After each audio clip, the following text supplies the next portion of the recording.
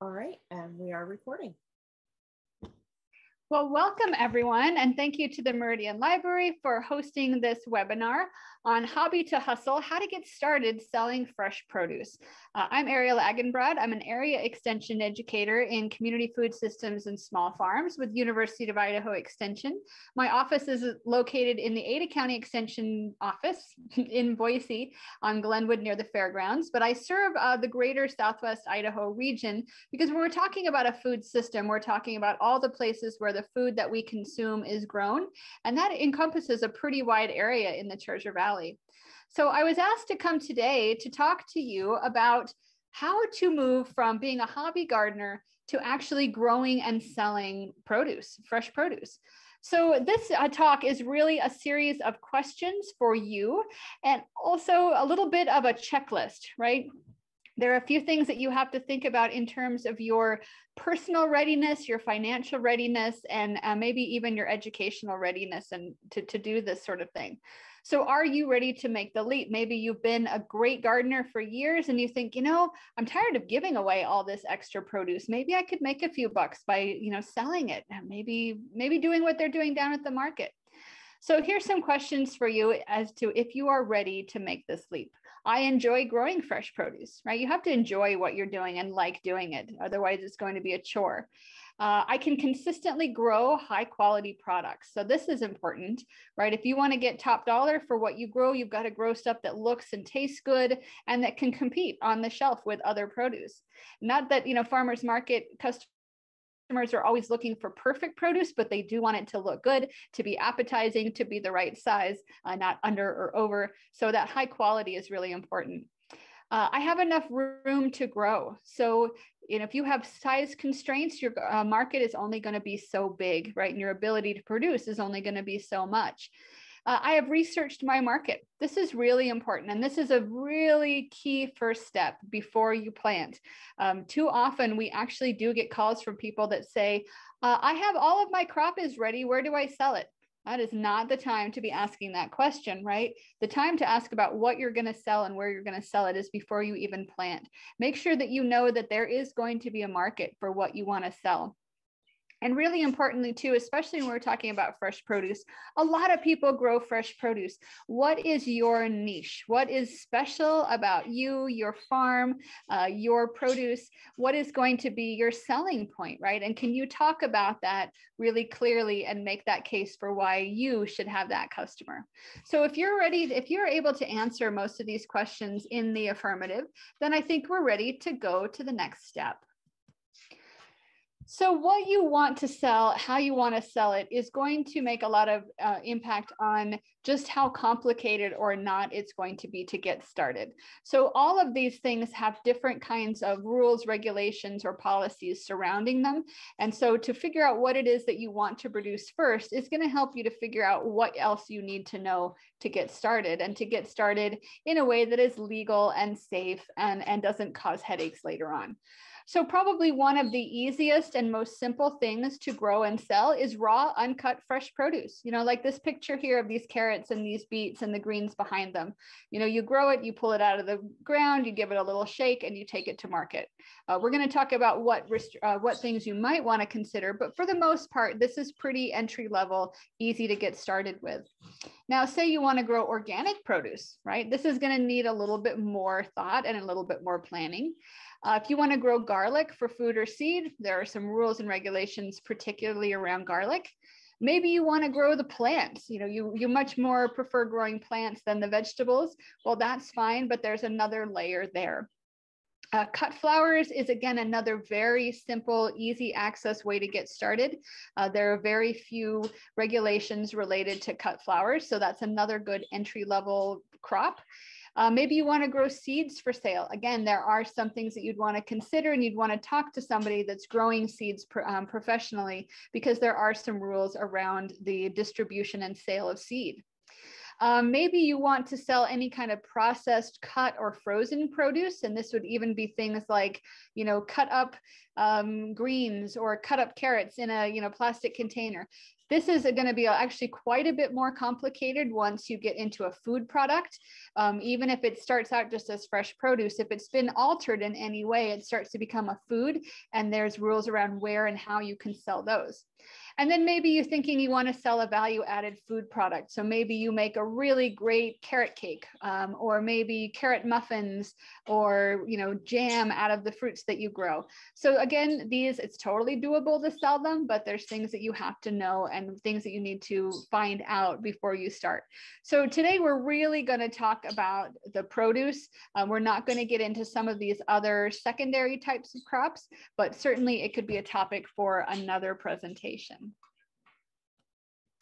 So where do you want to sell? Again, this answering this question is going to help you to determine some other things that you're going to have to figure out ahead of time.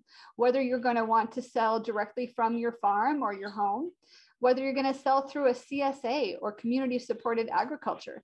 This is a method that some people are very familiar with. It's new to others. It's basically a subscription service to your farm, right? You sell a share ahead of the season uh, to a number of folks, and every week they get a share of what you harvest. So they're taking on a little bit of the risk and the reward of the farm. Uh, this is a great way to get some of your operating capital up front, uh, but it also takes quite a bit of planning to know that you're going to have something to give them every week, right? A farmer's market is often another great way to get started, especially if you have a farmer's market that allows for a one day walk on um, without committing to the whole season, especially if you don't yet know how much you're going to grow or whether people are going to like what you grow. So uh, that can be a great option. Uh, multiple farmers markets. Maybe you've got a big family or you've got employees, you're going to sell all around the valley. That can be another way to sell. Maybe you want to sell to a store, right? Maybe you want to sell to the Boise Co-op or um, you know to another small market. They're sometimes uh, eager to buy local produce, but again, you got to figure out um, how you're going to make that happen. They're going to have some particular requirements too. And maybe you want to sell online, maybe as simple as just posting on Facebook when you've got a whole lot of lettuce that you need to move, or maybe you actually do an online storefront, you take orders and make deliveries. So again, that would be a little bit more complex. You'd have to figure out the e-commerce part, uh, make sure that you were able to receive and process those orders and, and have enough to sell. So lots of different ways that you might want to get into selling produce, but again, each one is going to take a different set of skills and a little bit of preparation. So when you do sell directly to the consumer, you get quite a few benefits as a farmer. Uh, when you're selling direct, that you actually capture more of the profit because you don't have a middle person, a middle agent working, you know, to buy from you and sell to someone else. You're selling directly to the person who's going to be that end consumer of the food. It can reduce some of your risk because you're really dependent on your customers' loyalty. You set your prices. You're not really subject to fluctuations in the market. You certainly have risk that might happen. You know, you could have a cold snap or an insect problem or something like that, but you control your market. Um, and it also allows you to develop your unique product identity and put your brand on something that you sell. When you sell wholesale, it maybe goes in, it gets mixed with all the others, and your identity is lost there. So direct marketing can be really beneficial. However, I do like to always point out that there are some, some skills and some knowledge that you are going to need as a direct marketer. And some of these can be learned, and some of them really helps if you're born with it. And probably the thing that matters most that you be born with it is that you're a people person right? You can learn a lot of these other things. You can go to classes, you can go trial and error. But if you don't like people, you're never going to be super great at selling direct to consumers, right? Unless you do it all online and maybe you're fine without, you know, without that direct face to face but really to sell direct and be very successful at it you've got to you're selling that relationship. You have to have people skills. Marketing and promotional skills the ability to to you know paint that picture of your farm and to sell things and put them in the best light that is a skill. You can learn it though uh, if you're going to be using social media to either promote your product or you're going to be using technology to sell, then you have to have those kinds of skills or you have to have someone close to you that does have those skills and that will work for tomatoes, right? Um, if you, this is another thing that you can learn, but it's really going to be key to your success, is being able to grow good food, right? So having that production and gardening knowledge and experience, being able to manage multiple different crops, the timing, um, and get them planted, harvested, and sold at the right times, and to be able to consistently produce quality products. Because, like I said, farmers market uh, customers, they're willing to accept things that look a little bit different or different colors or maybe a little bit bumpy, uh, but they're still looking for produce that is appetizing, looks healthy, um, is not damaged, and is a, you know of the most delicious size. So no baseball bat zucchinis at farmers market. So, what kind of business will you be? Again, this is something that's going to take some thought, maybe with your farming partners or your family. Each one has a little bit uh, bigger layer of complexity in terms of being able to set it up yourself. Um, they have different um, uh, repercussions as far as taxes go and things like that. So, knowing your business structure, you're going to be a sole proprietor. Are you going to be a sole proprietor with an actual registered business name? Uh, maybe you've been doing this for a while and it's time to turn into a limited liability corporation or a full corporation. And then if you're going to have employees, again, more complex, right? More things to manage, more things to keep track of. And now I am not with the small business administration. This is not really my strong suit, but I do know that we have a lot of resources out there and especially free resources that can help you to figure out some of these things and find uh, the person that can help you put it together. And I have included some resources at the end of this presentation to help you get started. So where else do we begin? So let's start with the what the growing produce, right? What are the rules, regulations? What are the things that you need to know to get started? And I wish that this was a gardening talk. It's really not. So I'm not going to talk about actually getting growing because the idea, right, is that you already know how to grow okay. Now you want to sell it. And again, if you really want to learn about growing produce, maybe that's a talk for another time. So number one, can you legally grow on your property? In most cases um, and in most zoning jurisdictions, it is legal to grow food on your property. It may not be um, encouraged to grow food in your front yard, depending on what your zoning is or on what your, um, your neighborhood association, if you have covenants or CC&Rs or restrictions. Um, it's good to find that out first before you start to rip up the grass and invest in tools and plants and things like that. Um, now, I went through, this is another thing I'm not really, really good at, but I did my best to go through some of the Meridian City codes and look for anything I could find that would either limit or permit these sorts of activities in different zones. And I couldn't find anything um, directly addressing growing of food crops on residential properties. So the good news is I didn't find anything that uh, strictly prohibits it. Um, but unlike Boise, where they've codified some allowable activities uh, regarding urban farming, I was not able to find that. But that doesn't mean that it's not there. It just didn't happen for me in my cursory view of the code. However, I did find um, addressing beginning a nursery or an urban farm in many of the other types of zoned properties in Meridian, so um, commercial or industrial. It was certainly an allowed use, uh, and there is some code language in here about that. So again, I would probably just check with your neighborhood association, make sure that you're not in violation of anything um, if you are to be growing on your on your own property. Now we get to sales, that's a little bit different story, um, but for right now, just uh, the growing part probably okay to grow on most types of property. Now, again, you get out a big tractor in a residential neighborhood and you start plowing up, somebody might question what you're doing. So just to take some time to explore that with your planning and zoning commission. So you find out that you can grow. There are no restrictions on what and how you can grow on your property. So what comes next, right? The selling of produce. And maybe you're already growing more than you can handle, and that's why you're interested in selling. So let's move into that. So to sell anything in Idaho, you are subject to sales tax right? Um, and so in order to sell, you must have a valid seller's, seller's permit. And there's a form IBR1 or there's a temporary seller's permit if you're not going to be selling all the time. And I'll go through the differences on, on that in just a second. But you must have this valid seller's permit um, and be able to collect sales tax, file a sales and tax return, and forward the tax to the tax commission when you sell goods in Idaho. And that includes produce. So a, tail, a sale is the transfer of ownership of any tangible personal property or providing certain taxable services in exchange for payment.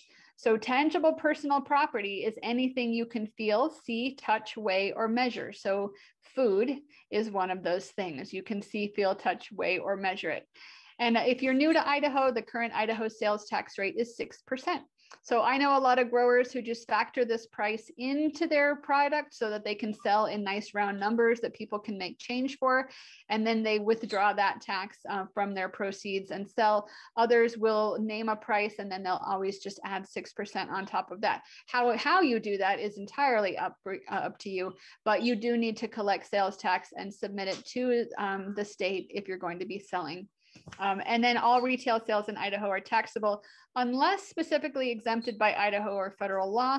And then again, if you are selling to a, a documented non-taxable entity or a nonprofit, you need to keep documentation of that because they do not, um, they're not subject to sales tax. So you got to be thinking about that. But most of the time that's not going to be a problem unless you're selling to a school or something like that.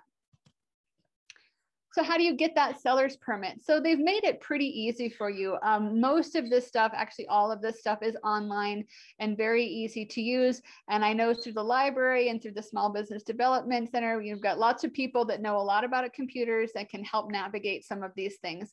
Um, it's not always super clear and easy, but it is on there. So you can complete the Idaho Business Registration application, and this is for your permanent sales um, permit. And then there's also a temporary sales permit that you can get also um, on the state, um, the state website. So if you apply online, you get your permit in about two weeks. And if you mail your application, you can take up to four weeks to get the permit. And uh, when you are selling, you need to display the permit in a visible location at your business. And when you register, you'll also get instructions on how to collect and file your returns. So that's really a nice thing, right? That information is going to come to you. And then you can file your returns online or with personalized forms that are available to you. So they do really want to make it as easy as possible so that you'll do it, right? So which permit would be the best fit for you, whether it would be a regular seller's permit or a temporary sales permit? Uh, well, let's look through this. So there's no fee for either one. So that's nice, right? You don't have to pay to get into business, uh, at least with the sales tax um, permit. Your regular sales permit is going to be permanently valid unless you cancel it. It's going to be valid for unlimited events or times or you know places where you're going to sell. Um, but you do need to file regular periodic returns and you must file even if you don't make any sales once you've got this permit. So if that sounds like something you want, you would get a regular seller's permit. Now, if you want a temporary permit, again, there's no fee. It's valid only for a temporary period. So maybe like a seasonal market. This is a, a one that often farmers market vendors will get, uh, but then you would have to reapply for it every year. Um, it's valid only for that one event. So that's not just the one Saturday, it would be every Saturday of that farmer's market. But if you wanted to sell for like at that farmer's market and then you wanted to sell at another evening market or at a bazaar or something like that, then it wouldn't transfer. Uh, and then you do need to file your return within 15 days of the last day of the event. So, you know, if your market ends in October, it would be, you know, late October that you would file. And you must file again, even if you made no sales. So again, if you're selling just on your farm um, or direct to consumer throughout the year, you might want to consider the regular seller's permit. And if you're selling at only one farmer's market, uh, then you might consider the temporary seller's permit. And especially if you're just thinking, I'm just going to try it out this year I'm going to sell at one farmer's market four times, maybe just get a, a temporary permit, but it's up to you. Now, what if you want to sell from the farm, right? What do you have to think about with that? So this is something really important. And again, I am not, um, I am not legally authorized to give you 100% of this information. I can just show you where to look and I can try to interpret it as best I can. But again, this is something you're going to want to check out with planning and zoning to make sure that selling from your farm is allowable.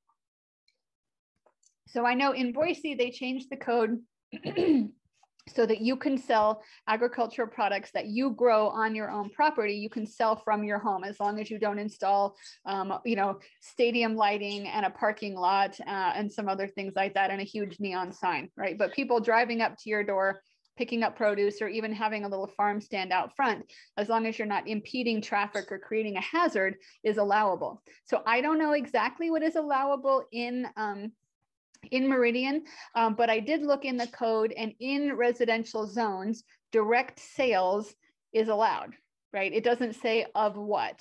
So I would again want to pursue that a little bit further with uh, with your commissioners of, of, zoning, but you know that's what I read into it is that some sales may actually be um, perfectly fine. So, all right, now we want to talk about your business name and who you are doing businesses. Okay. So if you want to operate with an, a business name, you've got a great, cute name in mind, you've been saving it up, you want to make rubber stamps and start stamping bags and making signage for your business, you do need to register that name with the Idaho Secretary of State's office. Now, if you're an individual and you're just using your legal first and last name to sell your products, you do not need to file a business name. So an example, right? My name is Ariel Agenbroad. So if I call my farm Ariel Agenbroad Fresh Produce, right? I don't need a form. I can sell with that name. If I call my farm Agenbroad's Acres, I need a form, right? Because that's a business name. It's not my first and last name. Um, I would have to have the, the permission or I'd have to have that registered. So the good thing is that it is fairly easy to do this. Um, they do recommend that you file your business name and entity type with the Secretary of State's office before engaging in business activities as that business. And you can file online for $25 and that name is yours and it's been registered. And you can file manually with a paper form for $45. I'm not sure why the discrepancy. It's probably just a lot easier for them to use the online version, but you can do it either way. So what other rules or regulations might apply when you're selling fresh produce? So this is, you know, this is not the most fun part, but I think you'll find that overall there is um, not a whole lot that is going to affect you depending on how and where and what you sell. Okay. And again, some of these things too, it's going to depend on if you choose to do this activity or not. So you don't have to sell your produce by weight. You can sell it by volume. You can sell it by the piece. You can sell it by the container. But if you are going to sell any produce by the pound, you do need to have a certified scale. Uh, and to have a certified scale, it needs to have a, a, a, scale that is legal for trade and has actually been certified every year by the Idaho State Department of Agriculture's weights and measures. Now, if you sell at farmers markets, a lot of times on the first day of market, the weights and measures folks will come around and they'll test your scale that day. You can also take your scale down to the Idaho State Department of Agriculture building um, over there by the Idaho Botanical Garden and the old pen, if you've ever been out there down Warm Springs in Boise. Um, and you can take your scale in and have it tested. Um, it's about, let's see, $6 for a 50 pound capacity or less scale and goes up from there. So buy the scale that's going to fit the, the types of things that you're going to be weighing. And again, it's just to make sure that you are giving people an honest deal, right? That your scale is measuring accurately. And especially if you sell by the pound, you want to make sure that you're not taking advantage of people or um, under, undercutting your own self, right? So it's, it's a good idea to have that scale checked. And then once you have that license, you need to display it wherever that scale is being used. So what if you wanted to sell plants, right? I mentioned that that's another little bit of layer of complexity, not difficult though. Selling plants is a lot of fun, uh, especially if you want to get in on the early markets and you don't have produce yet, but you have a lot of plant stock, can be a great way to be making some money early in the season. Um, and it's totally legal to sell plants. However, if you're going to sell more than $500 worth of plant material, and again, this is not cut flowers. Cut flowers are not part of this. You can sell flowers all day long. This is a plant, you know, potted in a pot um, for planting.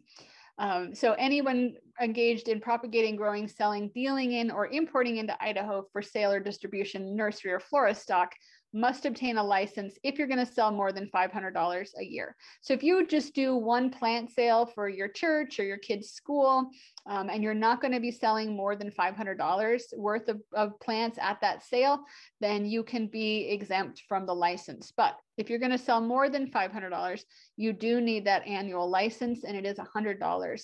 Uh, and you get that from the Idaho um, Department of Agriculture. And there's a form here. You can also go in and get this. The other nice thing I find that is a benefit of the nursery license is especially if you're going to be maybe maybe you want to do cut flowers for weddings um, you know maybe you want to be also buying your own plants as well as other people's plants you often will get a wholesale discount at retailers if you have that nursery license. So it can be something that pays for itself depending on what kinds of businesses you're involved in so if you, um, this is something interesting too, uh, at least when you live in Southwest Idaho, we are part of a quarantine region because we grow so many commercial onions uh, in this part of the state. We are trying to reduce um, and eliminate our uh, potential of getting a disease called white rot. And so because of that, we have really tight restrictions in Southern Idaho on the um, onion, leek, garlic, et cetera, plant material that can come into this part of the state. So if you've ever tried to order garlic in a catalog and it says not available for shipment to Idaho, this is why, um, because you can only grow stock in these counties that has been grown in these counties, unless it goes through a really rigorous growing out and testing process that involves um, the University of Idaho Research Lab and also the Department of Agriculture. So it's a multi-year process if you want to import, like say, new garlic varieties and start to grow them totally possible to do and people have done it but i just want you to be aware that you can't just um, you know, bring home garlic from the grocery store and plant it in your garden. That would be the worst thing you could do. It's actually illegal. So uh, if you are going to grow garlic and onion for sale as food, though, just make sure that you are purchasing certified stock from a reputable nursery or company and that you keep records of where you purchased that. Because I have had people at farmers market be approached and asked, where did you buy your, your garlic bulbs? Right? Even though they're selling them for food and not for seed, they want to know where they came from. And if you say, well, I bought them from this grower and they only purchase, you know, um, garlic from Rupert, which is in the quarantine area or whatever, then we're okay. Uh, and more, more fun about that is found on the Idaho Department of Agriculture's website. So you might have heard about different food safety laws, and they are out there, yes, and they might impact you down the road. Um, you might have heard of FSMA or the Food Safety and Modernization Act. Um, this does regulate food from farm to fork on a national scale, and one part of that um, act is the produce safety rule, which covers most of the fruits, vegetables, nuts, herbs, and mushrooms and sprouts, especially those that we commonly consume raw. Now, the good news, I mean, I guess good news, um, food safety is really important and it's everybody's responsibility, whether you're a small farm or a large farm. But some farms are not going to meet the sales minimums to be covered by this rule, and others will qualify for an exemption based on their sales and who their customers are. So how would you know? Well, if you don't grow raw, uh, raw commodities that are consumed raw, like say you only grow sweet corn and potatoes, you're not going to be covered by this rule. It doesn't apply to you. Uh, if you eat all the food that you grow and you don't sell anything, again, this is not going to apply to you. Um, if you grow these products and they all go into processing, like they're all going into salsa or jam or something else that has a heat treatment, again, it's not going to cover you. And then if you're just getting started and you're selling less than $25,000 every year in produce, it's not going to apply to you either. So that's good. It's really, it's really meant um, to focus on larger farms and really, you know, those that are having a real big impact in the food system. However, like I said, food safety is something that everyone should be thinking about no matter their size. Now, um, what if you sell more than $25,000? Well, if you sell more than $25,000 a year in your produce, but you're still selling less than $500,000 of all the food that you sell, both covered produce, maybe jams, jellies, breads, etc. So if your total sales of food overall are less than $500,000 a year, and you're selling at least half of your products directly to a consumer, whether it's a farmer's market customer, whether it's a restaurant, maybe it's the Boise Food Co-op, um, that's located in the same state or not more than 270 miles from your farm, then you will qualify for a qualified exemption. So that's good to know too. So I think for the most part, you don't have to worry too much about these federal regulations until you start to really grow your business um, and then then it'll it'll just be one of those things that you've got to deal with right um, and other growers are already taking care of it So um, just one thing I wanted to mention though is that one way to stay on top of it, and if you ever get questioned to know where you stand, is you can actually download some record keeping templates and forms from our food safety website. Uh, and that way you can just document your sales records. And if anyone questions you, you can say, nope, we fall well below that minimum. Um, we're on it. We are definitely exempt. Here's, you know, here's our paperwork. Um, but one one rule that does apply to anybody that is in that middle middle ground is that when you are making produce sales, you need to prominently display the name and the business address of your farm, either at the place where you're selling, so at your farmstead or at the farmer's market, or putting that label on the packaging of your produce. And that's just so that they know where that produce came from. Um, if there was a problem, they could get back with you. And also, really, from a marketing standpoint, um, labeling your produce helps somebody to find you again when they run out and they realize how delicious it was. So, labeling is always a good idea. All right, so I asked if you might want to sell organic produce. Well, there's a few things that come along with this. You can do all the right things and never use any pesticides or fertilizers, and you still can't typically call your produce organic, right? Organic is a labeling term. Um, it is um, it is authorized and um, certified by the Idaho State Department of Agriculture for the USDA. So um, it certifies that this agricultural product has been produced in these certain ways and it has gone through a rigorous inspection and record keeping process. So you can't just call your food organic unless there is a caveat, right? If you sell less than 500, let me start over again. If you sell less than $5,000 a year in produce, so you're really not selling very much, you can claim that your produce is organic without going through the certification. But you can't use the USDA organic seal or sticker, and you can't call it certified organic. Um, so again, you might want to keep records of your sales because if you you've got a farmer's market booth and you have organic written all over the place, they're going to say, are you certified? And you say no. And they say, are you selling over $5,000? And you'll probably want to say yes or no. Now, certifying organic is a process. It's not out of the reach of folks, especially if you've got a, a customer base that really wants organic produce.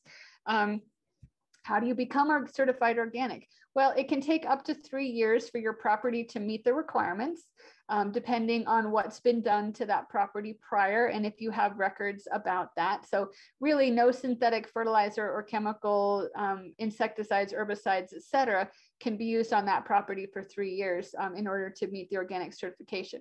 But if you have ground that's never had anything done with it and you can document that, you might be able to expedite that process. And then if you do want to pursue this, the Idaho State Department of Agriculture, again, is your place. They really are the regulatory body for all things agriculture in our state. Um, and we're lucky that they're really close. You can just pop in if you want, or you can access almost all of their documents online. And again, um, if you like record keeping, you will love certified organic production. There is a lot of record keeping involved. But uh, again, this is an, um, an assurance to the customer that you have grown things in a certain way. And so they are really rigorous with their um, reporting and recording. So is that everything, right? Am I ready to go? I thought about food safety. I thought about my business license. I got my seller's permit. Um, I'm good to go. So I do want to talk about a few more things that may or may not affect you, but they're things that we really want you to um, consider as you're moving forward. Uh, so again, as you start to grow and, and increase your business and expand your diversity of your products, you might find that you're potentially wanting to add more things. Like now I want to sell lamb or eggs, or I want to, you know, add in more things, or I want to have people come to my farm and pick it and have a you pick. So anytime you do this, you're going to add potentially more regulation and requirements. Not that they're, you know, overwhelming or make it impossible, but just know that there are going to be additional things you have to do anytime that you bring people onto your farm, make sure that you're insured for that, either through your homeowner's insurance or through an additional agritourism policy. Some homeowners insurance companies don't understand that and they don't speak the language of agriculture. So you might look to an agricultural insurer for some of that. And even if people don't come to your farm, we really recommend that you get liability insurance for your products. This is going to protect you, it's going to protect your customers. Um, we live in such a litigious um, age that it's something that we really consider, think that you should consider having. And again, going through an agricultural insurer is the best way to get this because they understand what it is that you're trying to insure. And again, when you sell into a farmer's market, uh, some markets will require that you hold a liability policy to sell at their market because they don't want to be responsible for it either, right? Um, and then anytime you change your business structure, maybe you're going to go to an LLC or you're going to think about adding employees, right? That's going to require additional record keeping, different kinds of tax forms, et cetera, um, and more record keeping. Oh, yeah, record keeping, right? Um, if you have not already started to keep records, it's a good time to start because this is how you keep track of things. This is how you make sure that you're making money. This is how you make sure that you're paying your taxes right and that you're staying above board with everything that you're doing. And any kind of business that you're going to go into is going to have a certain amount of record keeping. It's just part of the modern age. So records show that you properly collected, reported, and forwarded taxes. So these are some important things to keep if you are collecting sales tax. So just sort of some books of account, right? When you make sales and how much. Um, some documents that support those entries, right? So bills, receipts, invoices. If you have a cash register, keep those tapes. Um, and if you sell to any um, sales exempt organizations, then like a nonprofit or a school, you might keep those certificates too. And what else should these records show? Well, the reason that you're keeping them is you want to show what your gross receipts and sales and services were. And this is going to determine, um, you know, what kind of tax you're going to pay. So if you sell to any customers that claim an exemption, you know, what type of exemption and what did you sell them? Any deductions that you're going to be claiming, um, the purchase of anything that you bought related to your business, right? That you either bought to sell or rent, lease, or to use for your own farm and how much sales tax collected from your customers, um, or did you pay sales tax to another vendor for a business expense? And then remember, you'll be billed the tax due if you don't keep records to explain your deductions or to explain why certain sales weren't taxed. So this can help you to overall reduce your sales tax. So how long should I keep records? Well, that's a good question, right? You must keep all sales and tax records for at least four years, and you might keep them uh, for seven years, especially if you don't file returns in case you were ever audited. Like, why doesn't she ever file returns? Well, it's just make enough money, right? That might be the case, but you want to be able to document that. So keep any records for transactions that involve sales or use tax, including your sales um, purchases, tax returns, tax payments, and then those resale or exemption certificates, keep them as long as you do business with a buyer, um, at least for four years. So get a big file, a file cabinet or a binder or something like that. Or, or there's lots of ways to do this on a computer too, if you feel really comfortable doing that. So a really good place to start for getting all of this information and finding the right forms that you need. It can also be a little bit overwhelming because you might get down a rabbit hole and then wonder how you're going to get back out. But I really found that business.idaho.gov was a good place to start. Uh, you can at least find all, you know, what you need, but give yourself some time um, maybe make sure that you're nice and relaxed. Maybe you have a favorite beverage or a snack with you because it, it can get kind of anxiety causing and you can get lost and you have to backtrack and go back. Um, so th- this really helped me though because i actually went through and i did their business wizard and I, I, did it as if i was going to sell produce and it really gave me the information that i needed it gave me more stuff than i needed but it gave me the essentials so business.idaho.gov great site to get started um, and so after all of this, sorry, I've got a typo up there. Are you still interested? Right? Have you already just like logged off and went, nope, nope, nope, nope. Maybe you're like, I, I can still do that. That doesn't sound too bad. So I would recommend that you connect with a local farmers market, talk to the manager, talk to some other vendors about what they do and if this is a good fit for you. And you do have your meridianmainstreetmarket.com. That's the website. And uh, last time I checked the website, it said that they were accepting new vendors. I know that most of the markets are still always looking for high quality produce vendors because people come to a farmer's market for the farm products. Um, and it's, it's, you know, there's, there's a lot of opportunity. So explore your options. You know, think about if farmers market is really the best place to start. It might be somewhere that you eventually want to sell at, but you want to start smaller or maybe just sell to your friends and neighbors or folks from church or, you know, at work. Start small, really start small. You can always grow. Um, and take some time to do the math. Figure out what it costs you to produce figure out what you would need to sell your products for in order to break even or even to make a product a profit and make a plan and continue to learn as much as you can about this. You know, attending a one hour webinar, this is not nearly enough to really uh, get you started in the right way. And there are lots of resources, people, organizations out there that want to help you.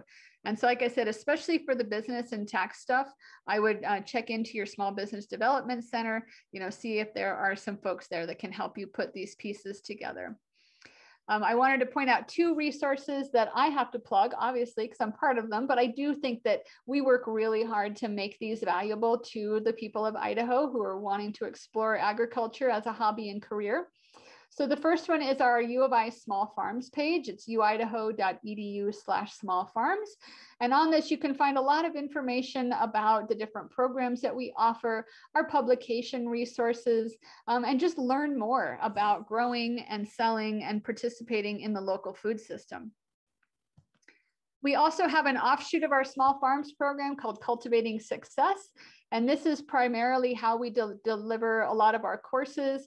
We have a um, great webinar, recorded webinar series with probably, I would say, close to three dozen webinars now on everything related to small acreage farming and ranching in Idaho. And they're all available on the website on demand. You can watch them at any time.